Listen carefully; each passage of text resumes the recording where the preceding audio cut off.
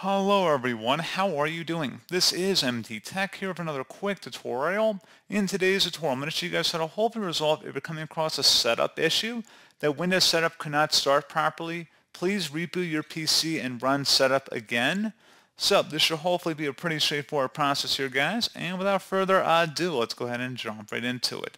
So all you have to do, basically, just restart your computer, so just right click on your start button, select shutdown or sign out, and then select restart.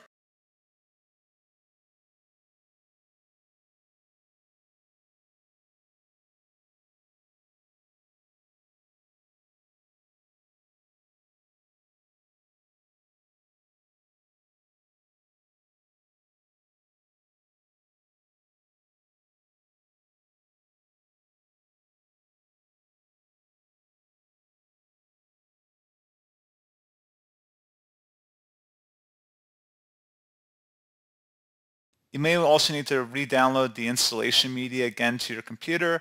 There's a chance that there could be corrupt files or components to it, which is why it's not running.